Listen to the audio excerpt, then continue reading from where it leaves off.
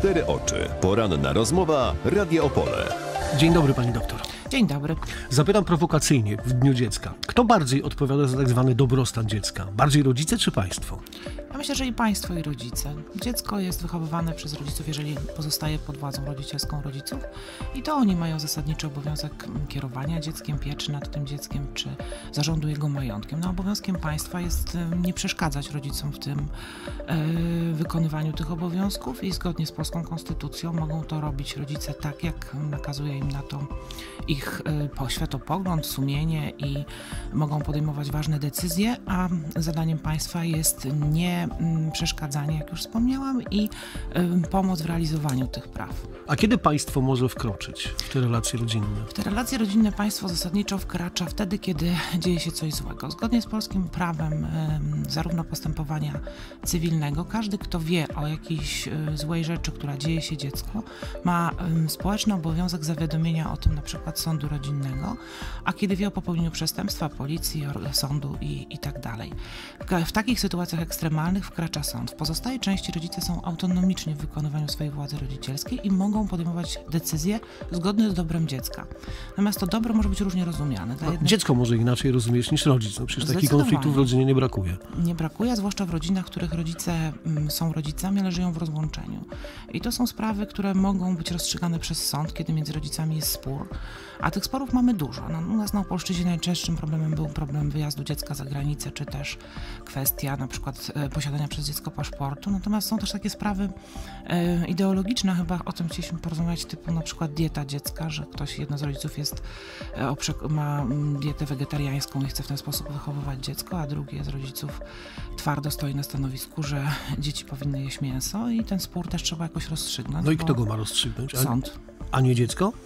Dziecko może się wypowiedzieć i zgodnie z kodeksem rodzinnym i opiekuńczym oraz konwencją o prawach dziecka można mówić o tym, że dziecko jest osobą, która może być wysłuchana i powinno się brać zdanie dziecka pod uwagę. I rzeczywiście to wysłuchanie może przebiegać zarówno poprzez wysłuchanie przez samego sędziego, jak i przez specjalistyczne badania w tak zwanym zespole specjalistów sądowych Wtedy dowiadujemy się, jakie jest stanowisko dziecka, i sąd zasadniczo powinien przychylić się do stanowiska dziecka pod warunkiem, że ono jest w stanie wyrazić swoje rozsądne życzenia.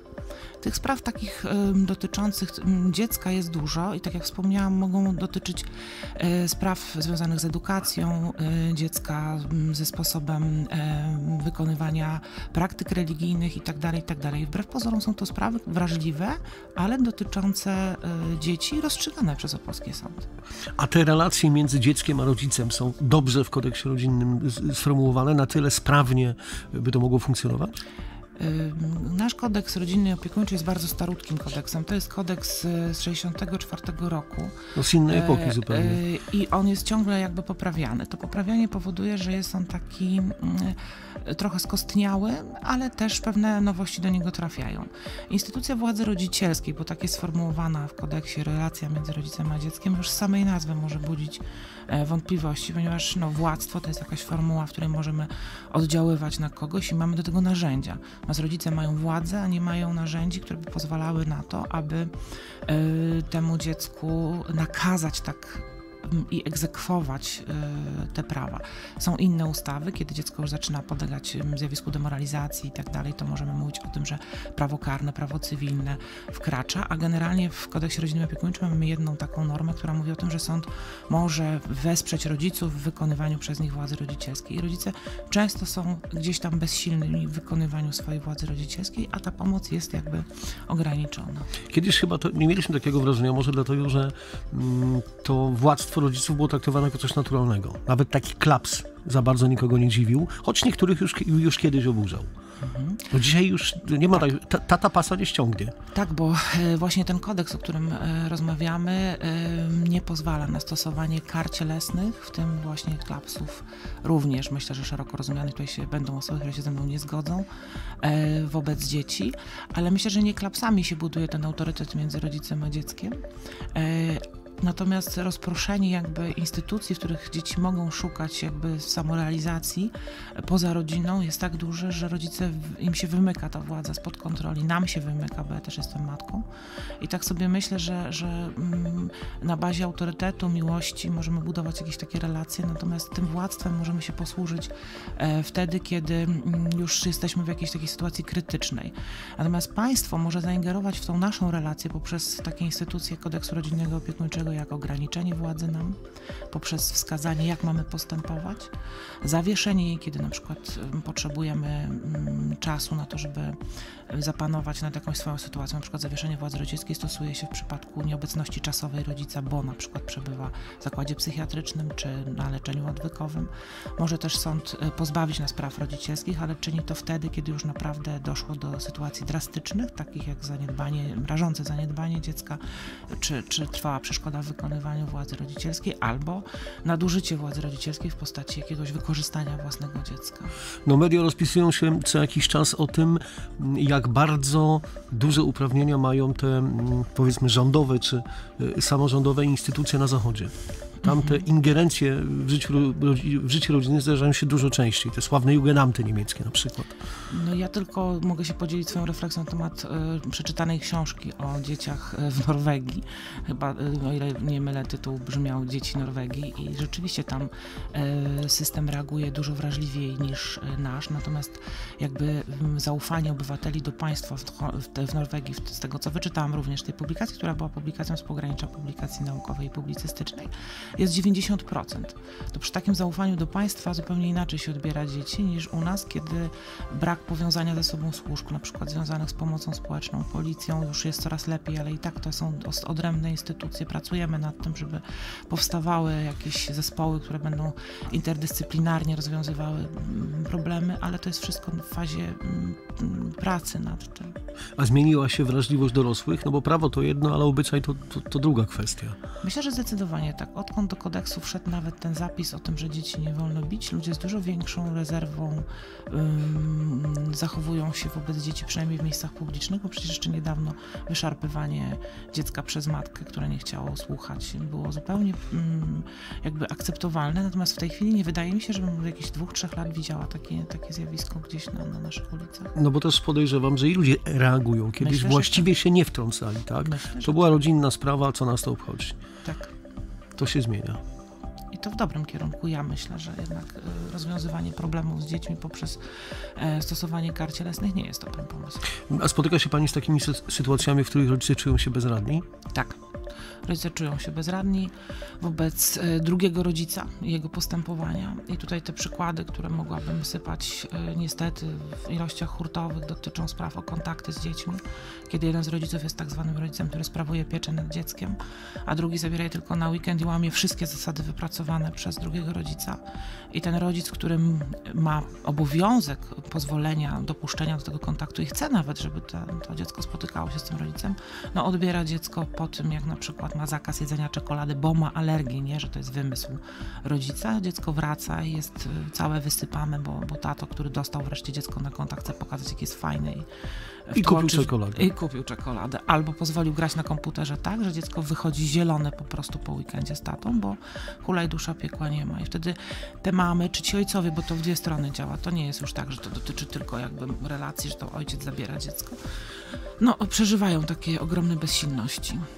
Przypominam, że naszym gościem jest dr Magdalena Gołowkin-Hudała.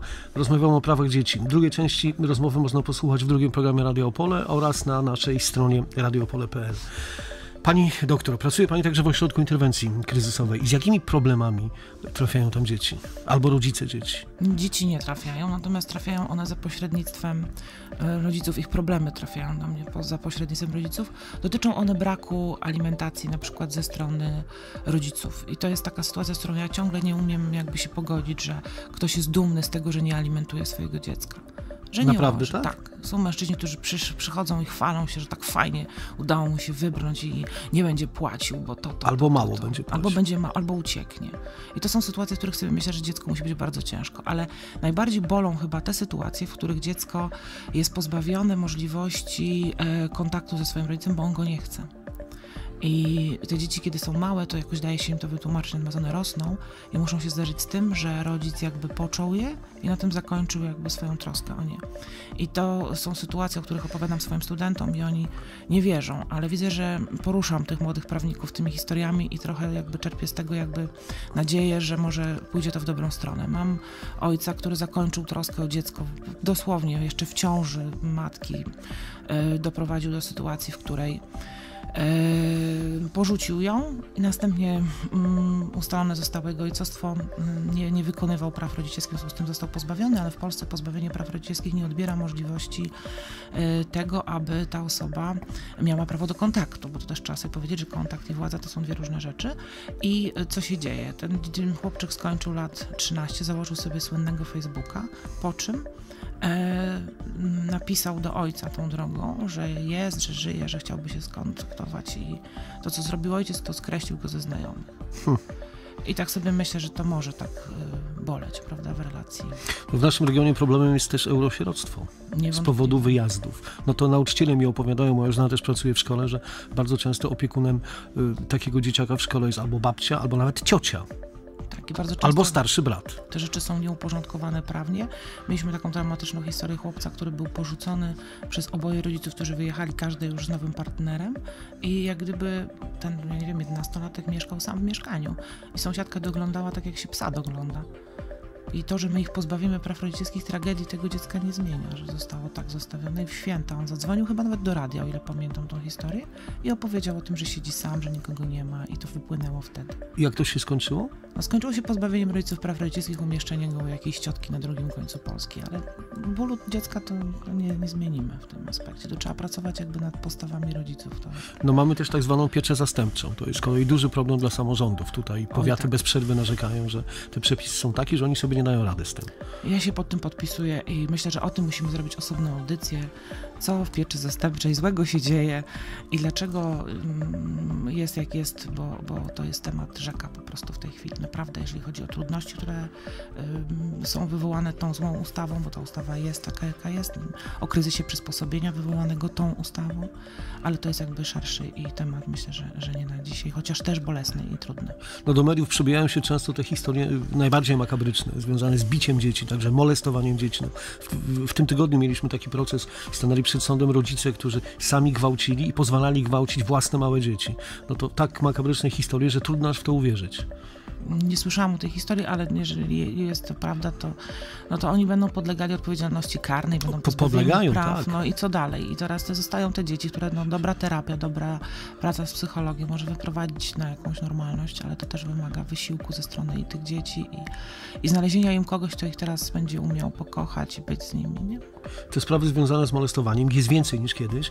Rozmawiałem z prokuratorami. Oni twierdzą, że to chyba jest tylko takie wrażenie, że być może zawsze było ich tyle.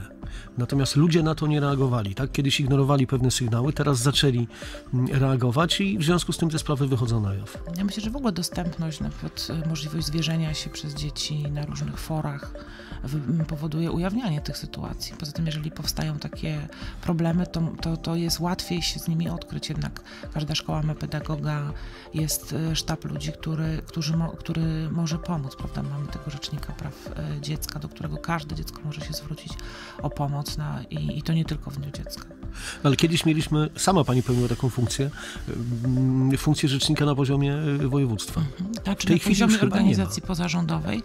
E, I rzeczywiście wtedy się rozpoczęła ta moja działalność poradniana. Zachęciłam studentów do e, pomagania ludziom, w tym dzieciom, e, w rozwiązywaniu ich spraw i udało mi się wychować pokolenie studentów, kilka pokoleń studentów na właśnie umiejętności nawiązywania relacji z ludźmi, pomagania im w przepychaniu spraw w sądzie, e, przygotowywania pism procesowych. Teraz mamy ustawę o nieodpłatnej pomocy prawnej, która jakby No, długo na nią czekaliśmy. spełnia e, tą rolę, dlatego ja już z tym swoim e, społeczną działalnością myślę, że będę dążyła w kierunku jakichś działań naukowych albo działań, które będą, takie mamy marzenie, tutaj z moją koleżanką, panią doktor Wilk, Aleksandrą, żeby mm, wynajdować takie jakby powiedzmy sobie kolokwialnie dziury w prawie i postulować ich zmiany, ponieważ przez to, że obie pracujemy w tym ośrodku interwencji kryzysowej, jesteśmy takimi mm, frontmenami e, zderzenia rzeczywistości z prawem.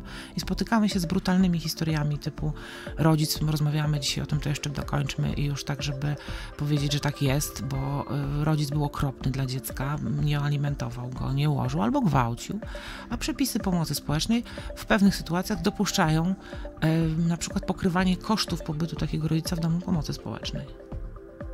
I to może brzmieć szokująco, ale tak jest. I z takimi sprawami się zderzaliśmy i przepisy się zmieniły, ale znowu nie do końca w tą stronę, w którą należałoby je zmienić, bo jest powiedziane w tej chwili w ustawie o pomocy społecznej, że wtedy, kiedy rodzic był pozbawiony praw rodzicielskich, to takie dziecko nie będzie ponosiło odpowiedzialności za takiego rodzica z tytułu pobytu tego rodzica na przykład, nie, z tytułu pobytu w domu pomocy społecznej.